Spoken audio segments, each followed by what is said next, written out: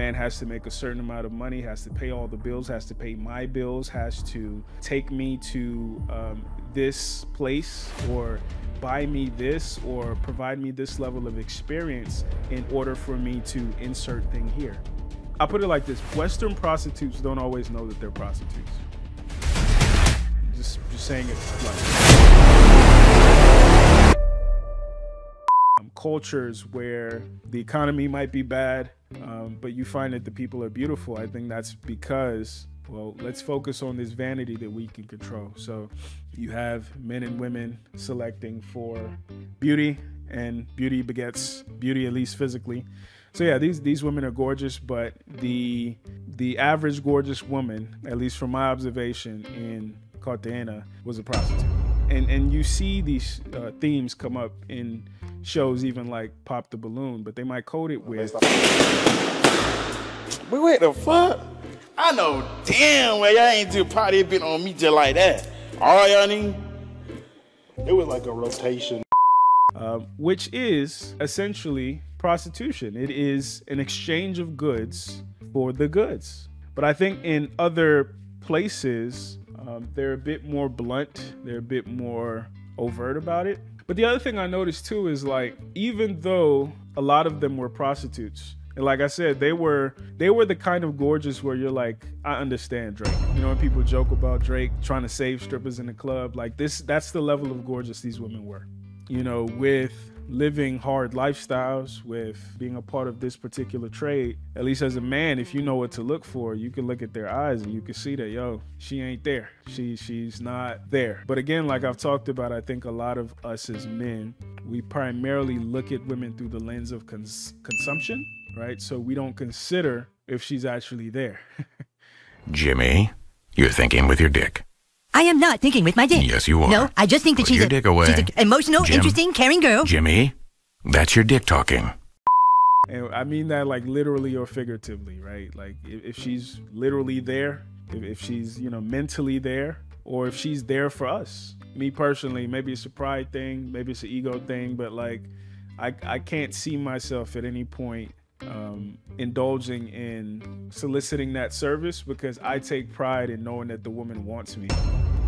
Right, but I also understand brothers who do. It's it's simpler. It's a more overt exchange versus this more covert Western exchange where it's the same exact thing, but there's this sense of entitlement of you're supposed to do all this, and you're not necessarily supposed to get anything in return. Like You should give me more money. What is this?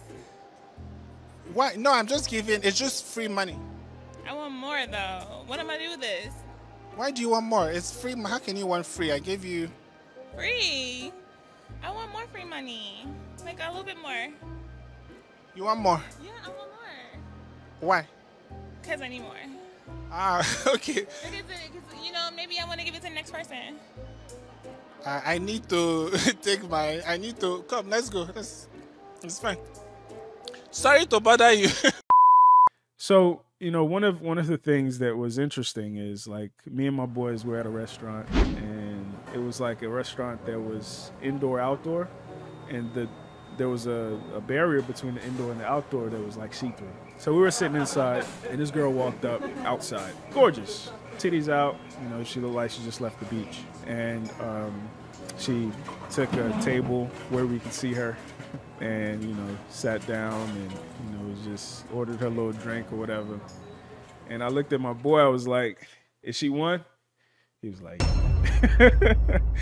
and it's funny because she was looking at us and in, a different context uh, you would have thought oh man she's feeling me. Let me go talk to her. Like they're professional right they'll give you that girlfriend experience that you're looking for about two minutes later we saw this dude walk up, probably black man, probably 50s, 60s. He walked up like on the street close to the restaurant and he called her over.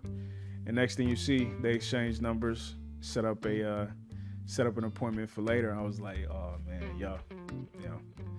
And another time we were at a rooftop bar and we were in the walled city. If anybody who's been to Colombia, we're in the walled city and we were kind of overlooking the roundabout way place. You come in through the wall and then you take a lap, and we would see groups of gorgeous women come in, take laps, like multiple laps. Sometimes they would come around, come around, and they'd leave. Sometimes they'd come around, you'd see them leave with the guy. Sometimes they'll come around, leave with the guy, come back, leave with another guy. Like it was insane. And and like I said, they were the kind of pretty that you would look at her and you wouldn't assume at all that she got down like that. You wouldn't assume that she was, for my Nigerians, she was an Ashawo. you wouldn't assume that at all. It was a very eye opening experience. And then it got me thinking about okay, um, how is this different than the United States? And how is this the same as the United States, particularly in our current, you know, can you pay my bills culture? Like I said earlier, it's different because the self awareness isn't there.